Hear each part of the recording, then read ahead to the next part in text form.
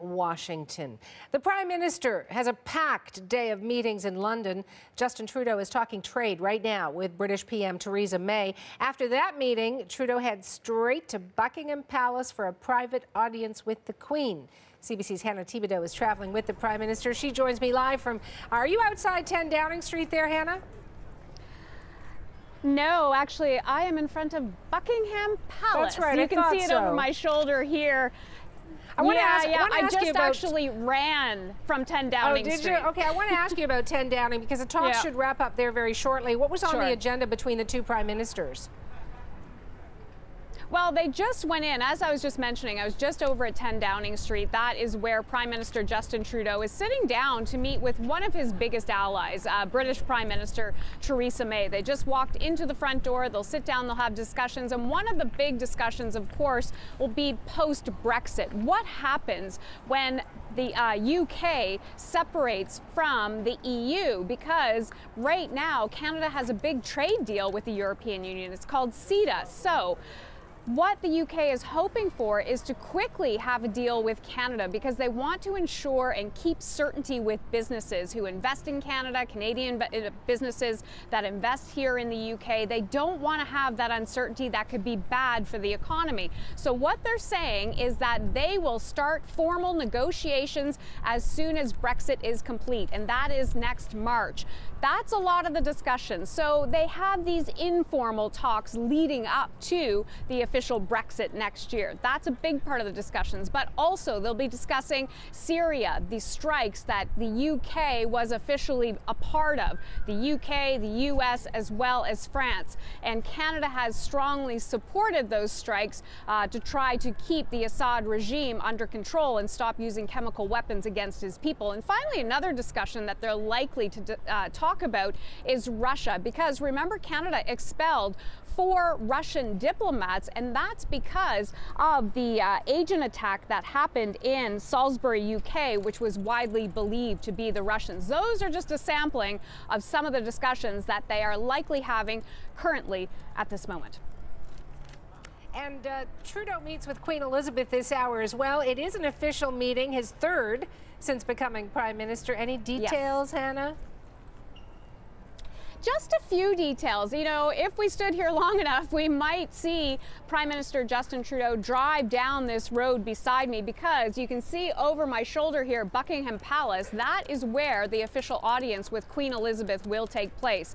This is his third official audience with Queen Elizabeth, the monarch. Uh, the first one was shortly after he became Prime Minister in 2015, so in November 2015. Then he met her in uh, Sol in uh, New in Edinburgh, Scotland. That was last year. When he was there with her, he actually presented her with the official flag that flew on top of the Peace Tower for Canada's 150th celebrations. Uh, that's one of the big things. So there's questions about what the discussion will be like. And this morning, Prime Minister Justin Trudeau had mentioned to the BBC that he said he'll talk about any type of world discussions that she wishes to talk about. But also, she likely will do a check in on what's happening in Canada. But one of the things, and I don't know if you've been talking about it on News Network today, her beloved corgi passed away yesterday. And this is a corgi with 14 generations of lineage. She got her first one from her father when I think she was just eight years old. So maybe he'll even be passing on his condolences about the beloved corgi to the Queen. But we will ask later what the type of discussions they had because the cameras can go in for the first little bit, but they can't go into Queen Elizabeth's official apartment to pick up that whole conversation because that conversation is private unless the PM decides to share some of that with us. Hannah, uh, you know, pets can be so such a big part of the family. I'm sure that will come up, and we'll hear about it afterwards as well. Um, but I just want to confirm before I let you go: Are you doing a Q&A with our viewers? Yes, I am. Excellent. So here's the thing. I usually work in Ottawa, but I'm here in London, England, standing outside of Buckingham Palace. I've been following the Prime Minister on his three country, three continent tour over the past, I don't even know how long it's been now, but a very short period of time. So if you have any questions about Lima, Peru, Paris, or even here in London and what you expect, send me a, uh, a, note on Facebook and we will get those questions and try to answer as many as we can. So Facebook Live, YouTube, and I think that's it. Okay. we'll try to answer all your questions. I know how busy you are and people will love to talk to you. Thanks for that, Hannah. So just to remind you that it's going to live stream. It's a Q&A on CBC News Facebook and YouTube. It is starting right now, so you can log on to facebook.com slash CBC News or youtube.com slash CBC News. Hannah's standing by. She is waiting for your questions. Take advantage. Trudeau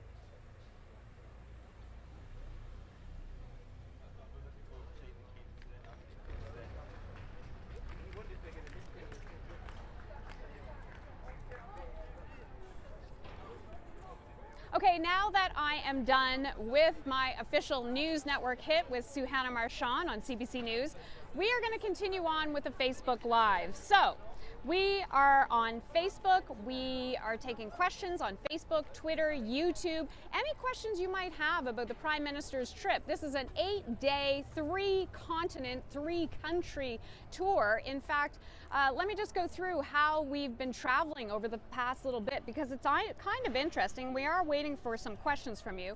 We went to Lima, Peru last Thursday, and that was for the Summit of the Americas.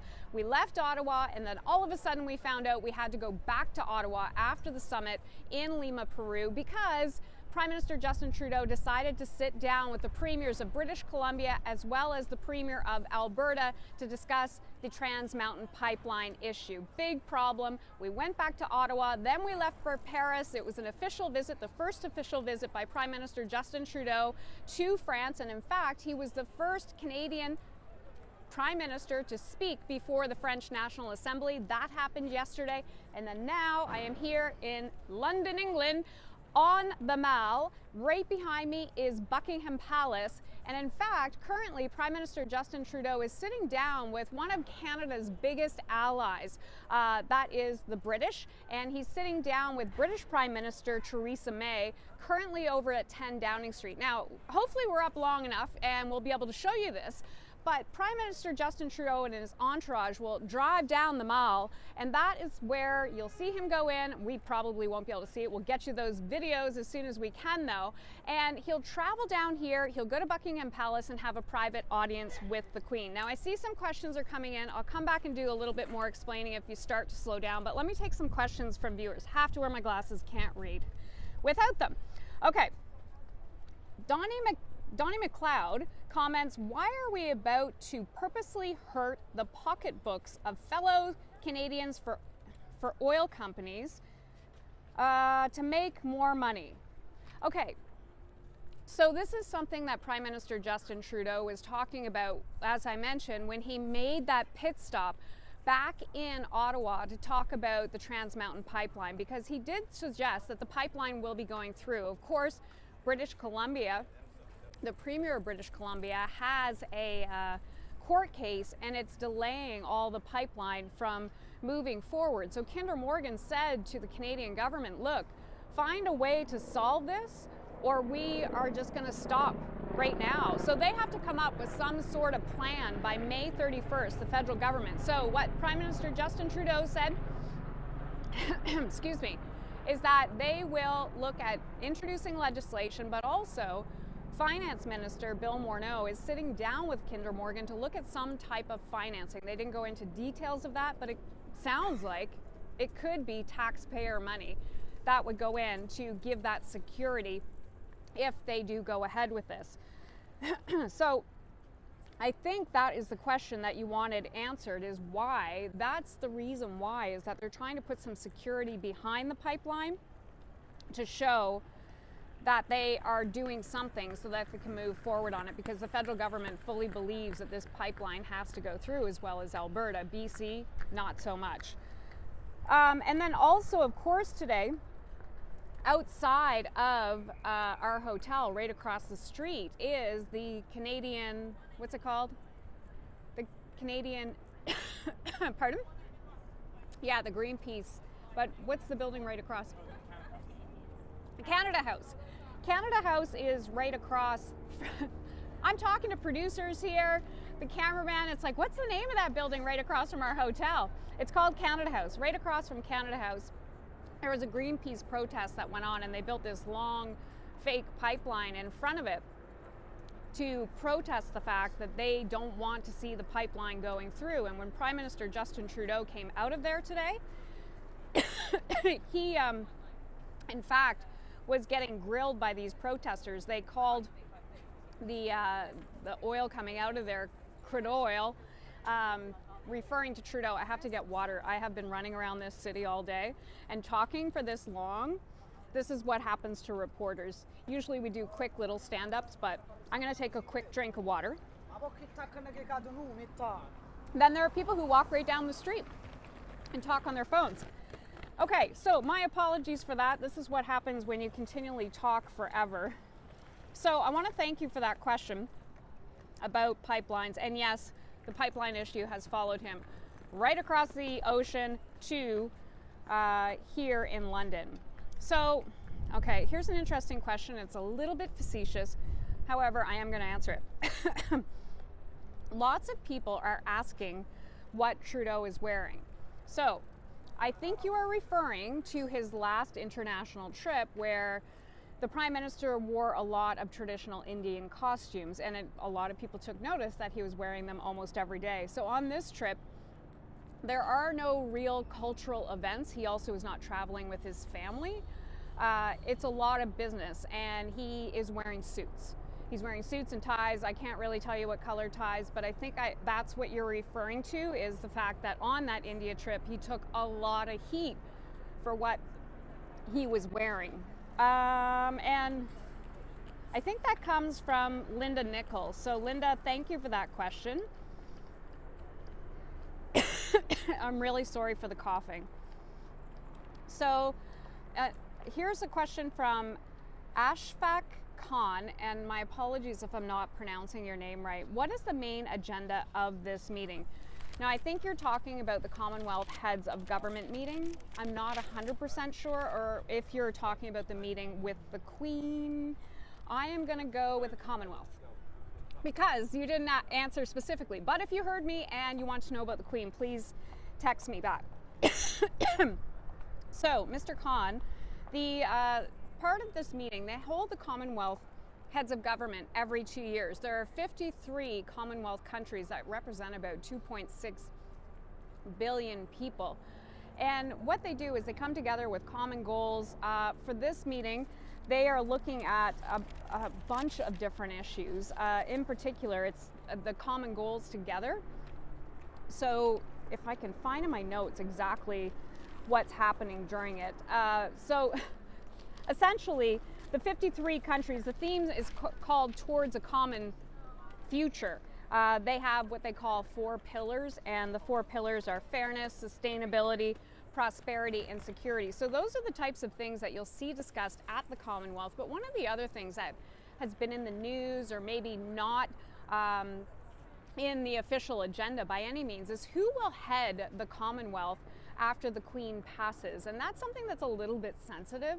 Uh, however, it's not necessarily going to be the Queen, and the Commonwealth heads of government will make that decision as to who it will be. So, not the Queen, but whoever takes over. Will it be Prince Charles? So, that's one of the discussions that might happen on the sidelines, but they keep it very quiet because it's one of those things that is a little bit uncomfortable to talk about. Uh, let's go on. So, Mr. Khan, thank you for that question. So Rodney Runnels asked, wondering about the pipeline protest over there. Um, pipeline protests are happening just a block this way. It's near the infamous Trafalgar Square. Again, I mentioned that it was um, just across the street from us. It's Greenpeace. They unfurled a big, excuse me, banner, and they're protesting again the advancement of the Kinder Morgan pipeline. So it's interesting that that hot topic, that debate, landed right here in London because, of course, the Prime Minister, when he went to Lima, Peru, before he went, he was asked, his officials were asked, would he change his mind and not go on this trip, this three country tour? The question was they answered by saying absolutely not. He will continue on the tour. But then, when we were about to take off on Thursday, The Prime Minister got on the plane, and literally, as we were taxiing off, they said, Hold on a second, we will be coming back to Ottawa for that. We called it a summit of sorts.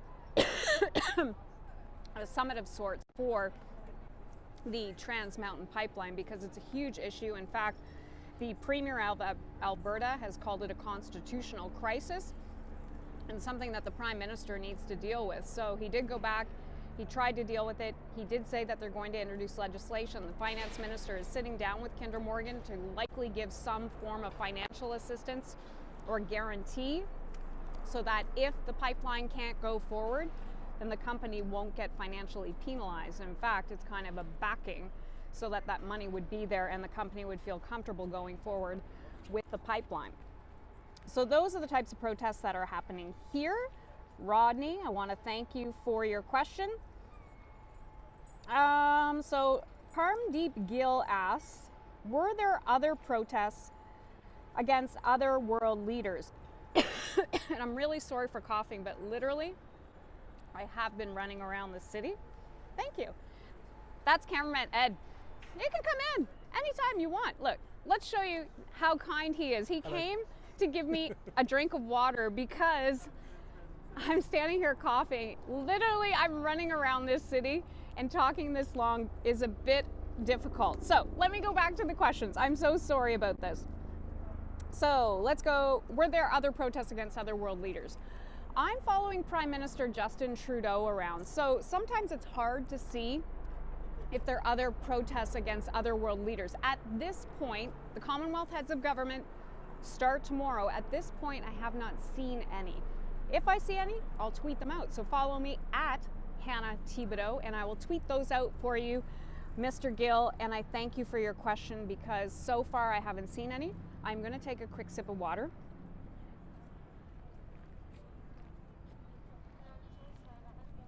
Because that'll stop me from coughing.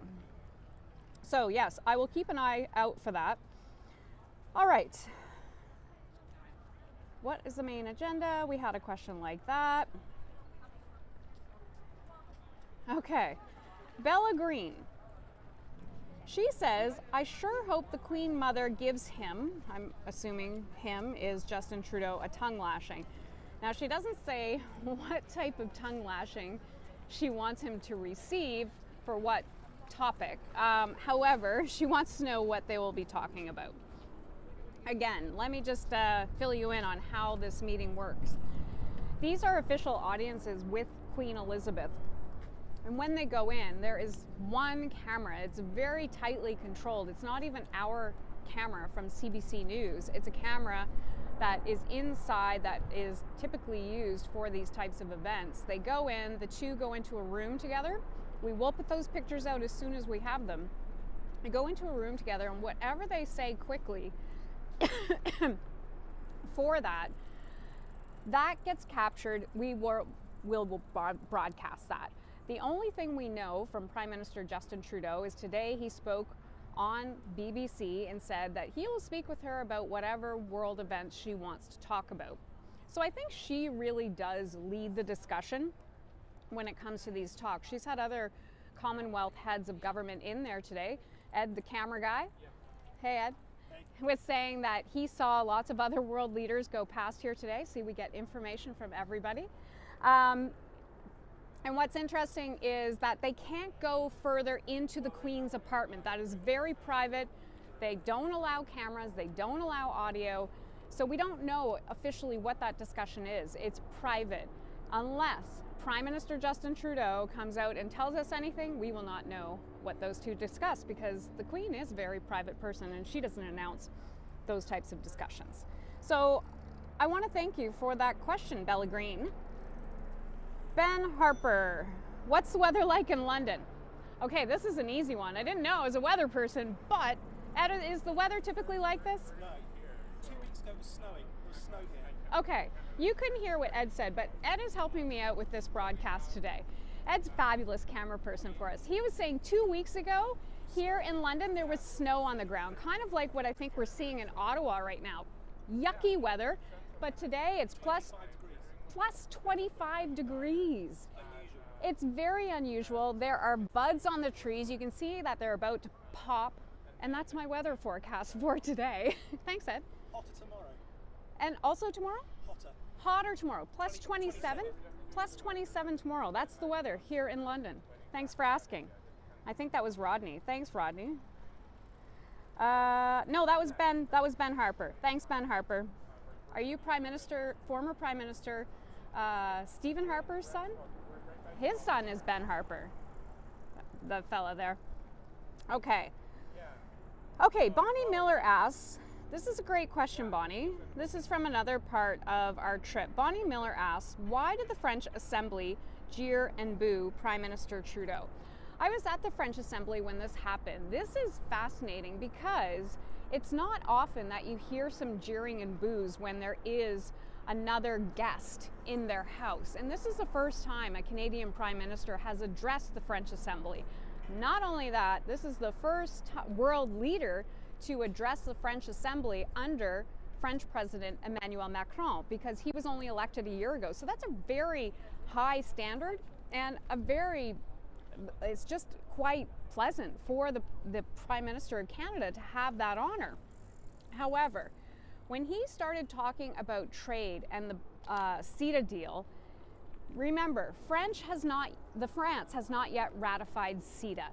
He was pitching CETA very strongly, and in fact, it was the question that ended his whole speech. And he was saying, look, we can have progressive trade with CETA. We can have uh, human rights, we can have good wages for workers, and we can protect the climate even if you have this big global trade. Well, there are some in the French Assembly who do not believe that. They believe that under CETA, there are certain parts of it that would uh, make wages worse for workers, so it wouldn't be as uh, the hot, the pay wouldn't be as good, that the um, standards wouldn't be as good. But not only that, they feel that it would also hurt um, the environment in certain cases.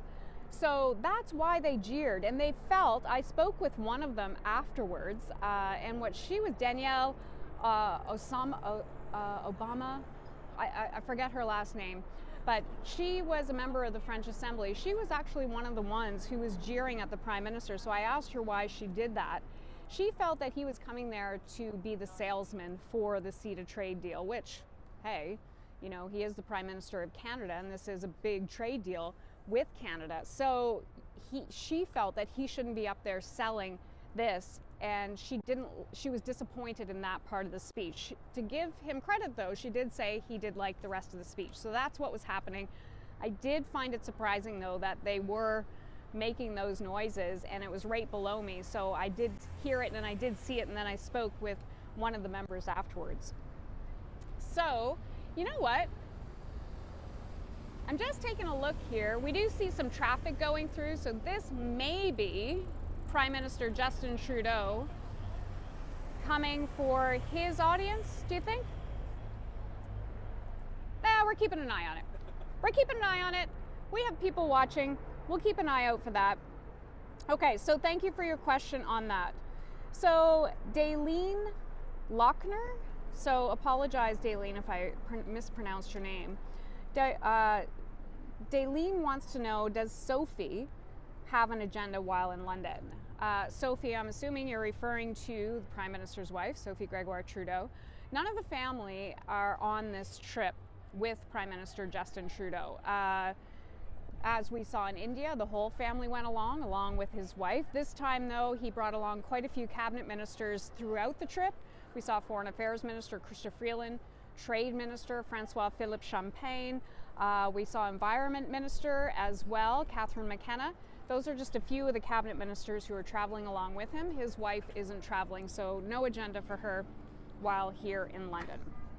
Thank you for your questions. A viewer on YouTube, how welcoming are the English towards Trudeau? Very good question. Thank you for your question. Viewer on YouTube, appreciate you watching. Um, I'd say they're pretty welcoming. Um, you don't see too much around because remember, there are 53 Commonwealth heads of government who are in fact here. But to have the official audience with the Queen is a pretty big deal because not all heads of the Commonwealth uh, governments will get that opportunity. So I think they're pretty welcoming. Uh, let me ask my friends from London here.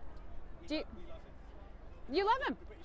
The British love him. Again, Ed the cameraman, so helpful. We'll have to introduce everybody after. because you know what? This is a full production here. Um, so Ed says they're pretty welcoming. Just to be blunt, I landed here last night early in the morning, so I just have been running around, and it seems like there are a lot of tourists here in London right now. It's a busy time of year. Uh, so, yeah, Ed says they're very welcoming. They like to have him along. Ah, here's a good question, and this is a question from Dennis Muller. Uh, Dennis Muller asked, How much did this trip cost the taxpayers? Again, a good question. I had this question as well before we left from Ottawa. This is something that we always use an ATIP for. Our very intrepid reporter, Dean Beeby, who does access to information requests, always goes on and tries to find out if there are any abnormal costs when it comes to these type of trips. We won't know the exact cost of the trip until afterwards. Uh, just remember though that all of the media who are on board, their companies pay for that. Um, and another thing you might not know when it comes to the flight and the plane, those planes have to be flown regardless too because they have to get their, their flight time.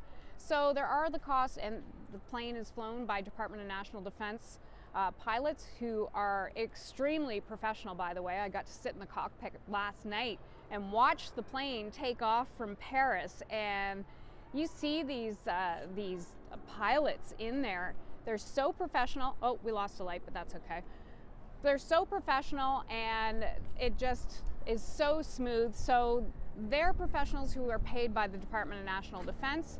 However, we will be able to tell you the cost of this. It just won't happen right now. If you can see, look, Ed is the master of everything. Light went out, battery, this is what happens on TV. Again, I think Ed is becoming the star of this show. Levi is now behind the camera, which will bring him in too. He's keeping an eye out for Prime Minister Justin Trudeau. So these are the types of things that happen when you're on TV. This is a longer one, it's more fluid, we're just kind of gabbing. Uh, you're getting a little bit of the background, but this, these are the types of things that happen when we're out in the field anyway. You see the batteries go out. Ed, the camera guy, magnificent, not only producer pa passing along information, but fixing the camera. Levi's keeping an eye out for when the Prime Minister comes down the road here. However, we will continue to take your questions. So, Dennis Mahler, Thank you for that. I'm sorry I can't give you the exact answer at this point in time, but we will eventually get that. Those prices always come through and we always check on them. Uh, da, da, da, so, Miles Ruiz Bars, again, I think that's how you pronounce your name.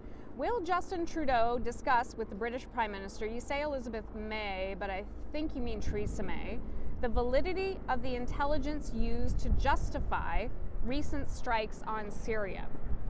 Let me just remind you one thing the Prime Minister and his government has said is that they do believe that they have the proof to show that they were chemical attacks in Syria. So that's why he says that he backs the US, France, and Britain for those strikes against retaliatory, retaliatory strikes on Syria.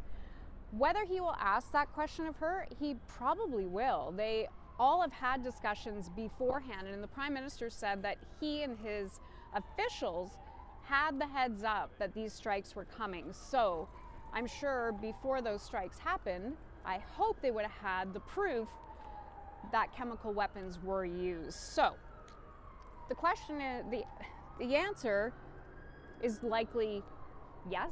I think they would have that discussion. Um, so I want to thank you for that, Miles Ruiz Bars. Um, so I want to thank everybody for asking a whole bunch and a variety of questions. You can hear helicopters flying in the sky. Remember, that's because there are 53 heads of government here for the Commonwealth Heads of Government. That begins tomorrow. We're still waiting for Prime Minister Justin Trudeau to drive down this road to go have his official audience with Queen Elizabeth. But of course, I want to thank you for taking the time and sending your questions on Facebook, on YouTube, and on Twitter. It's much appreciated. And continue to watch CBC News Network because we will have all the latest the photographs from the Queen, uh, the details from the Prime Minister Theresa May's meeting, and of course, listen to CBC Radio because I'll have a report a little bit later on that. Again, thank you for your time. Thanks to Ed and to Levi as well. They're a huge help and always appreciate that. Thanks, guys.